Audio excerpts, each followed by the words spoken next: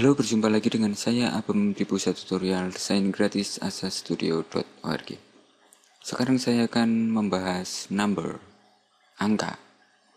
Di Flash kita mempunyai number untuk data dan saya langsung membuat project baru. Action step 3. Oke. Okay. Dan di sini saya membuat tag Oke, saya tutup dulu action. Saya membuat tag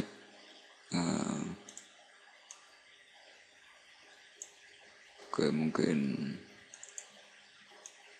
seperti ini dan ini saya memberikan input tag dan saya memberikan mungkin angka satu lalu saya copy dan Ctrl Shift V untuk membuat lagi. Lalu letakkan di sebelah kanan.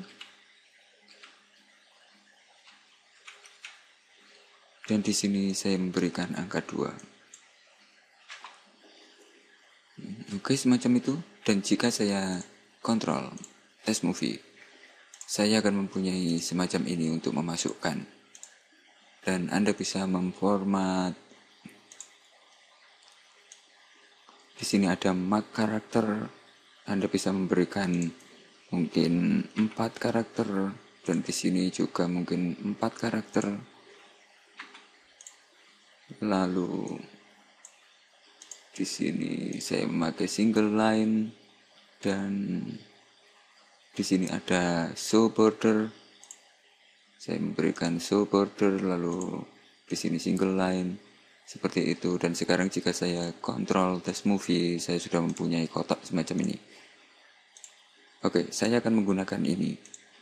Dan saya menuju ke window action.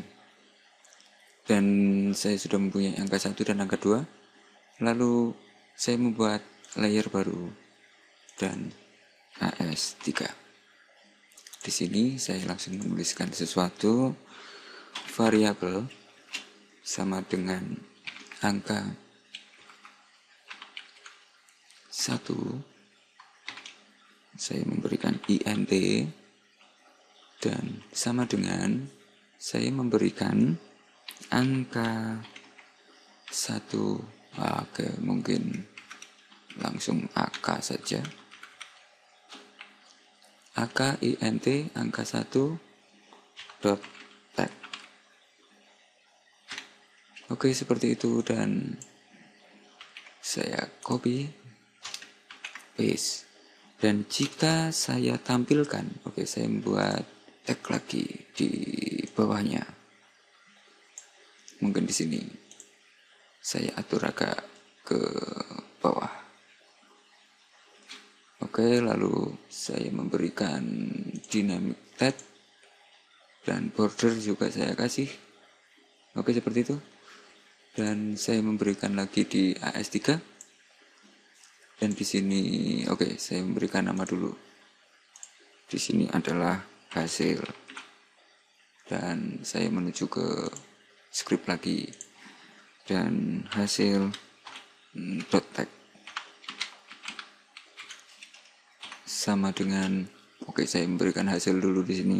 Var AK3 oke di sini AK2 di sini AK2 dan INT lalu sama dengan dan di sini adalah AK1 ditambah AK3 Lalu di sini saya memberikan AK3 oke okay. dot to string. Di sini angka 2. Oke, okay, jika saya memberikan seperti ini test movie akan ada error karena ini belum ada isinya. Saya harus memberikan tombol. Oke, saya akan memberikan tombol saya memberikan di atas sini oke mungkin di sini. Saya memberikan tombol. Mungkin di tengah-tengah.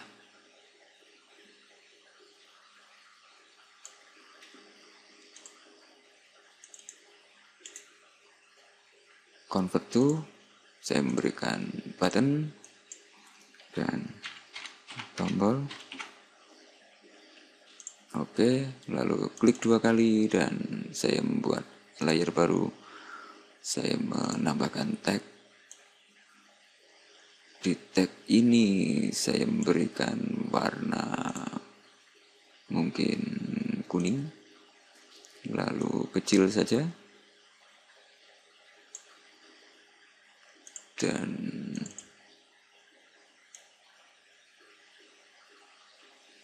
mungkin semacam ini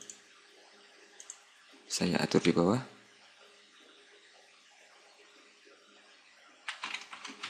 Mungkin semacam itu dan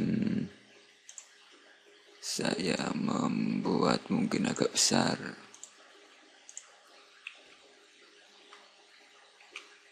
Oke, dan bordernya tidak usah.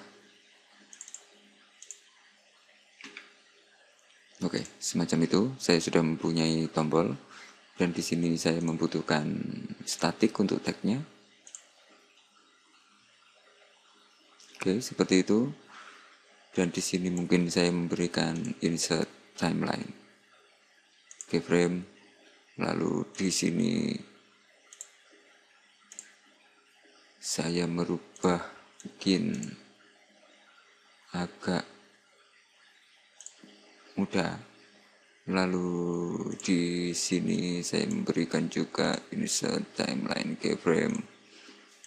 Lalu di sini saya memberikan mungkin hitam dan di tagnya saya memberikan mungkin merah lalu di sini saya memberikan mm, mm, mm, mm, hijau Oke, jika saya coba, saya sudah mempunyai semacam ini, tombol, dan saya mempunyai error. Oke, saya akan menghilangkan di sini. Saya kembali ke scene, saya menuju ke action script lagi. Dan di sini saya tidak memberikan ini.